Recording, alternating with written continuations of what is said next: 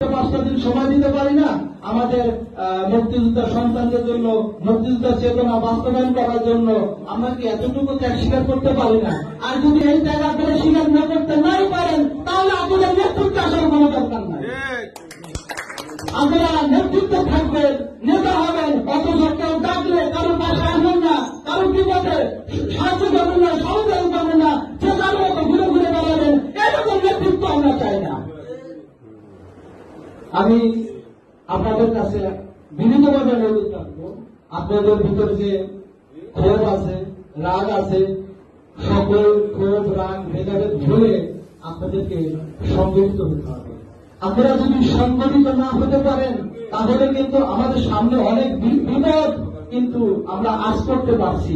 অনেক বড় বিপদ কিন্তু সামনে আমাদের। আগামী নির্বাচনে যদি বাংলাদেশ আওয়ামী লীগ যদি ক্ষমতা না আসে, তাহলে কিন্তু এই মুক্তিযুদ্ধের সন্তান গমন কিন্তু অস্তিত্ব থাকবে না। আপনারা কিন্তু মুক্তিযুদ্ধের সন্তান হিসেবে পরিচয় দিতে পারবেন না। আপনারা কিন্তু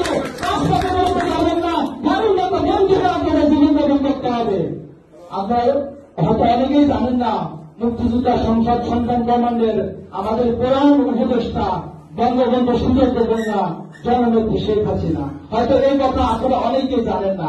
আজকের এই অনুষ্ঠানে আমি জানতে পেরেছি যে কক্সবাজার জেলায় পাঁচশোর উপরে মুক্তিযোদ্ধা আছে এবং তাদের সন্তান কিন্তু হিসাব করলে কিন্তু হাজার হাজার হয়ে যায়।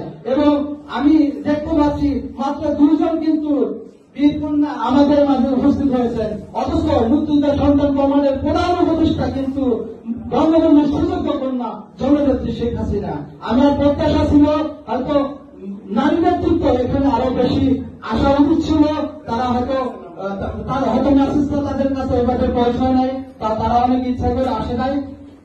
এই মানসিকতা আমাদের দিয়ে দূরে থাকতে হবে। এই মানসিকতা যেন আমাদের মধ্যে তৈরি না হয়। এবং এই কক্সবাজার জেলা সন্তান কমান্ড আগামীতে নতুন নেতৃত্ব আসবে। এই নেতৃত্ব তবে সার্বজনীন সকলের উপস্থিতি, সকলের সম্মতি সর্বসম্মতিক্রমে একটি কমিটি গঠন করা হবে। যে কমিটি নেতৃত্ব দিবে এবং কক্সবাজার জেলাকে আরও সামনের দিকে এগিয়ে নিয়ে যেতে পারবে। আপনারা দেখেন, আপনারা অবশ্য প্রকৃতির সাথে যুদ্ধ করে কিন্তু এই কক্সবাজার জেলাবাসী কিন্তু এখানে বসবাস করেন। এখানে যখন দুর্যোগ হয়, তখন কিন্তু আপনারা কেউ থাকেন না। তখন কিন্তু আপনারা সবাই ঘরের মধ্যে থাকেন। তখন আমরা টিভিতে দেখতে পাই যখন বিভিন্ন ধরনের সংকেত দেওয়া হয়, বিশেষ করে যারা সাংবাদিক মহল আছে, তাদের নীতিগত দায়িত্ব পালন করার জন্য কিন্তু তারা বৃষ্টির মধ্যে ভিজে ছাতা পরে বা রেনকোট পরে তারা কিন্তু বিভিন্ন জায়গায় নিউজ করে। বাংলাদেশ মানে দেশবাসীকে মানে সুরক্ষা রাখার জন্য তারা কিন্তু তথ্য দিয়ে থাকে।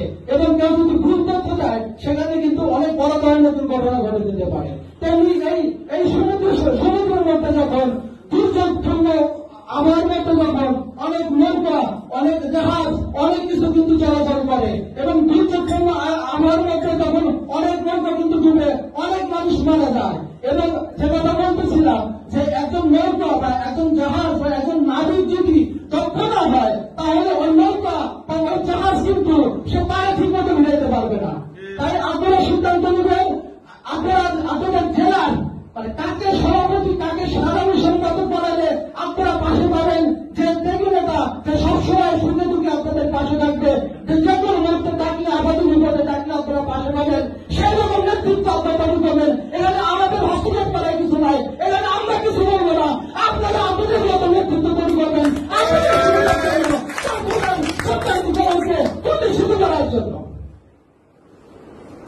আপনারা জানেন মুক্তিযোদ্ধা সংসদ সন্ধান কমান্ডের সম্মানিত সভাপতি জনাব মেহেদি হাসান, বাংলাদেশের প্রত্যেকটি জেলায়, প্রত্যেকটি উপজেলায় কিন্তু তিনি পদার্পণ করবেন এই সংগঠনকে আরও গতিশীল করার জন্য, আরও বেগবান করার জন্য। কারণ সামনে আমাদের একটা বিশাল পরীক্ষা, আমাদের সামনে জাতীয় নির্বাচন।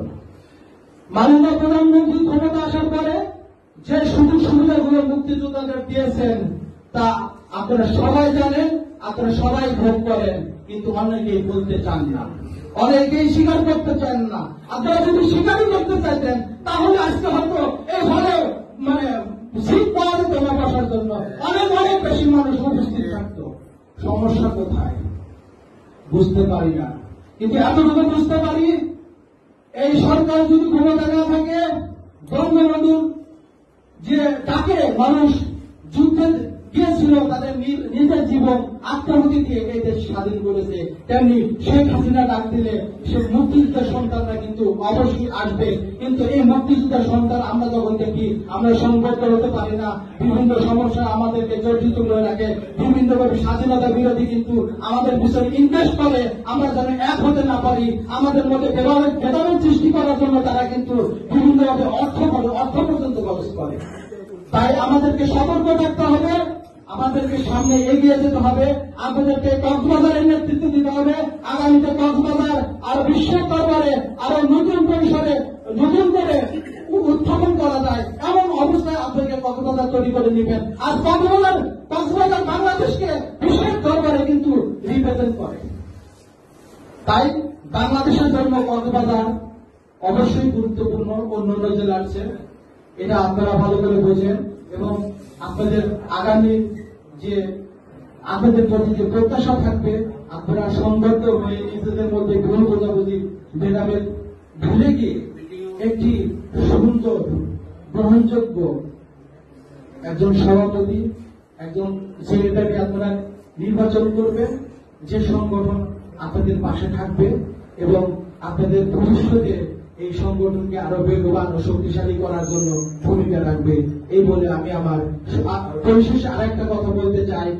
আমাদের সংগঠনের সম্মানিত সভাপতি এবং সাধারণ সম্পাদক, তার নেতৃত্বে আমরা একটি স্মার্ট ডিজিটাল সন্তান গমন করতে চাই। জয় বাংলা, জয় বঙ্গবন্ধু